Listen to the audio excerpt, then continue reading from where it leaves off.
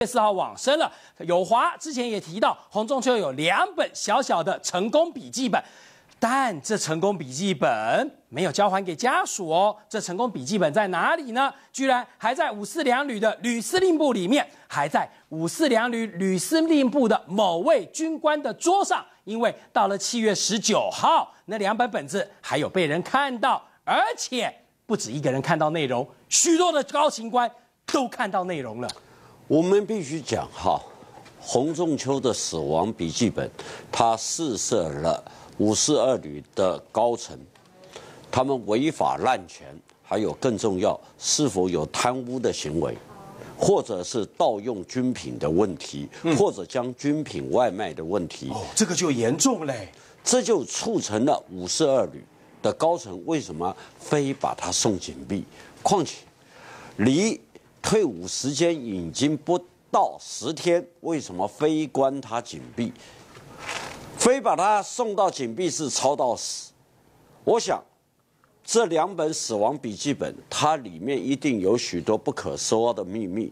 我有一个朋友，他是偶然看到了笔记本的内容，而他事后的回想，他跟我联络的时候，他直截了当跟我讲。他说：“各位晓不晓得，在七月三号，左线天皇、吴义竹他们赶到天成医院，又赶到三种的时候，有电话回来，就请刘元俊等人副连长，哎，赶快去搜，搜谁？搜洪仲秋的内务柜。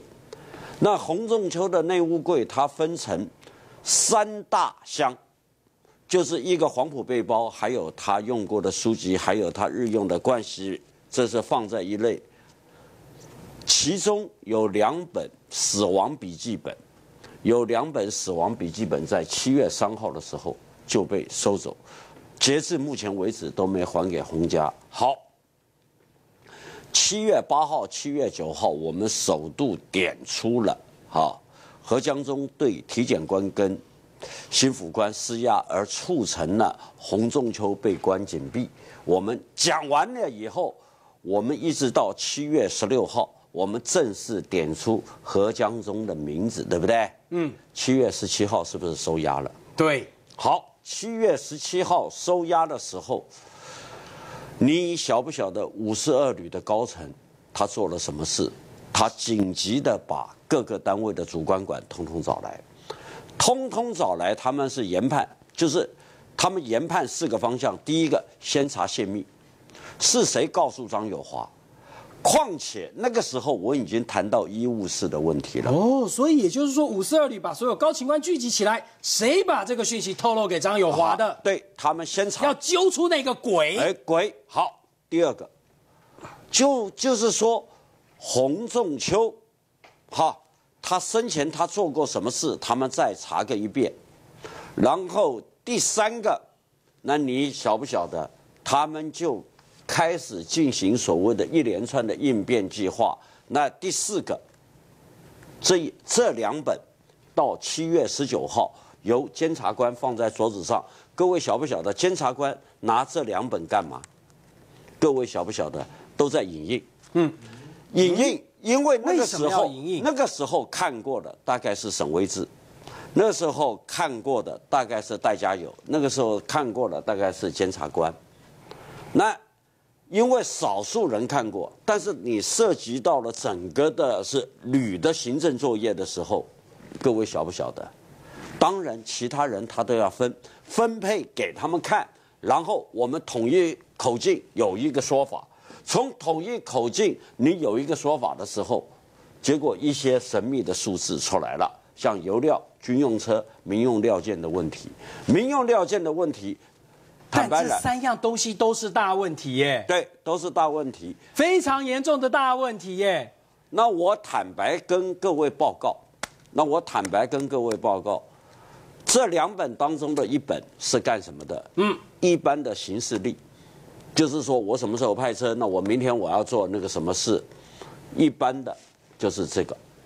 好，这个完了以后，我们再回过头来看，所以也就是说，两本笔记本里面，一本是洪仲秋他记的一般的事件，包含了什么一些有着一些呃有的口令密码等等。但是呢，另外一本记的就包含了油料的出车，呃，出车的状况，油料、车辆的维修、车辆的运补的资料了。对，那里面有没有记一些金额啊？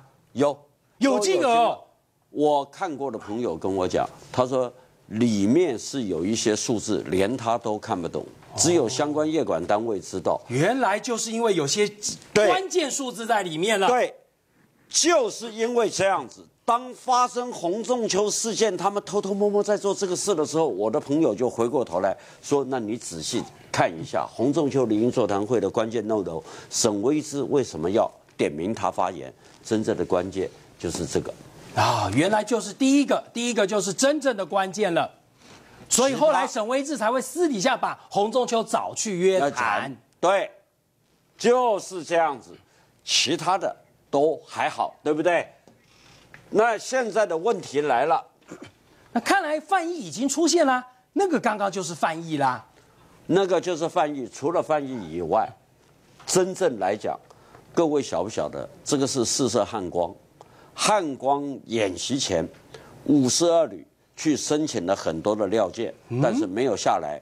但是他们动资的相关的金额去向民用街，那个是独特的一家厂，而这家厂长期以来都是由范左宪去包揽他的，就是说他视左宪天皇为他的恩人，所以那一家厂对左宪天皇都很好。除了很好以外，各位晓不晓得？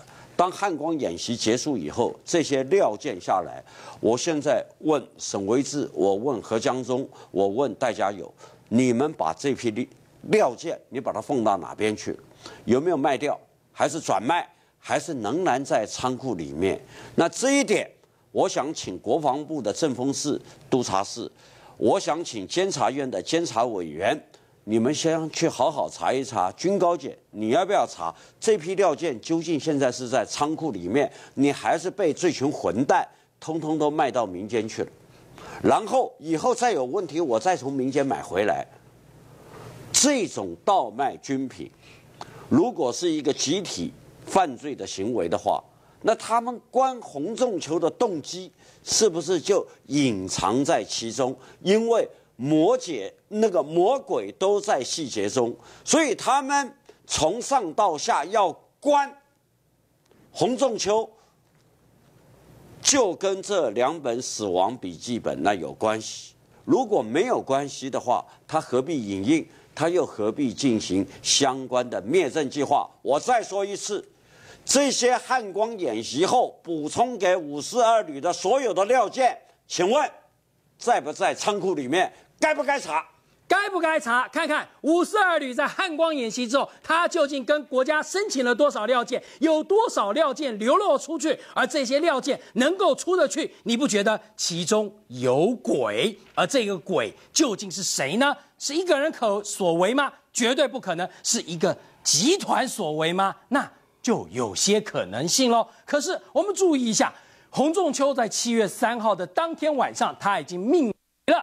可是呢，在七月三号的当天的时候，有一个人被记大功了。这个人叫做范左宪，谁记他的功？连长徐信正。那为什么范左宪可以记大功呢？X 先生今天到了新竹，又走了一趟，他带给大家最新的消息。没有错，整个问题好像看起来起始于一个东西，就是汉光演习。嗯，但其实据我们查证啊。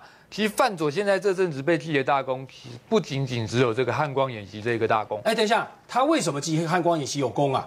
哎，对，可能他晚上有在实弹操练，所以可能会有一些功劳在。但吕布连的战车，他明明是车长，吕布连的战车不可能下去打澎湖的汉光演习啊。没有错啊，他要出去也是所谓战车连出去才对，要不就是战车营派了战车连步战协同出去打呀。没有错，那五四两军一发弹都没有射出去，那你是怎么可以记到这个大功呢？对呀，还有另外一个大功车长明明是在旅司令部要守旅司令部的人，怎么会跑到澎湖去啊？没有错。所以说他他也被记了另外一个功啦。哦，还有个对，那个功叫做什么？修缮营区有功。哦，因为他他很喜欢去修营区里面的东西啊，因为修营区的东西有一些孔明秀，孔明秀，对，所以说他真的是修缮营区有功啊，像之前监视器啊，或者是除草机啊这些的，他都时常去修嘛。所以他那个大功可以说是实至名归了。嗯，但是我们来看一下这个汉光演习二十九号演习哦，当时他被记大功的一个理由是什么？是说他对上级交付的任务尽心尽意，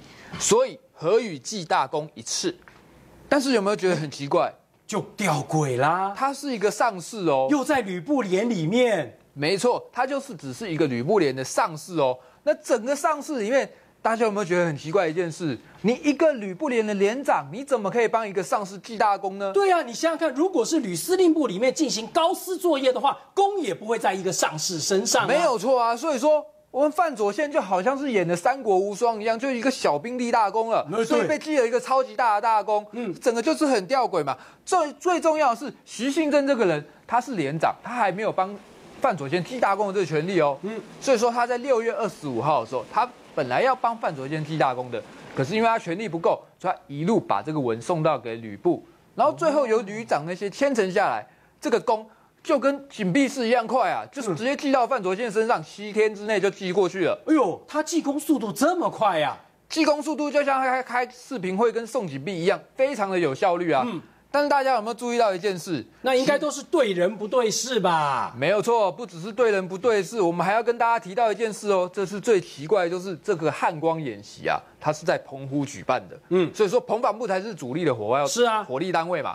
还有一个支援的单位叫做两幺炮子部哦，炮子部就是火力支援单位。对，它是火力支援的单位，但是两幺炮子部里面没有任何一个上市，因为整个。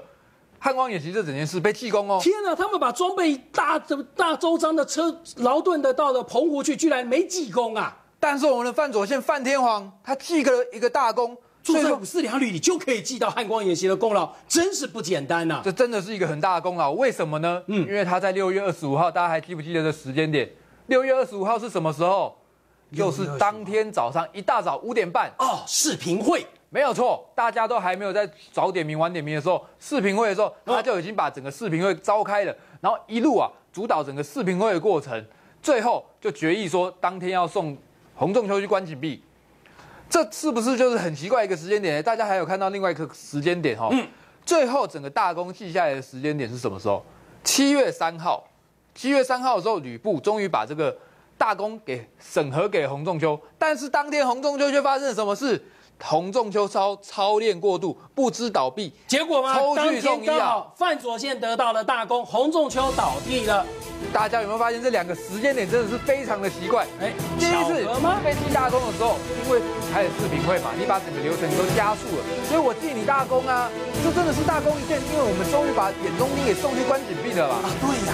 最后七月三号省下来，眼中钉倒了，眼中钉倒了，大功赶快给你啊！是啊，他就可以去考士官长啦。对，大家还忽略了一点。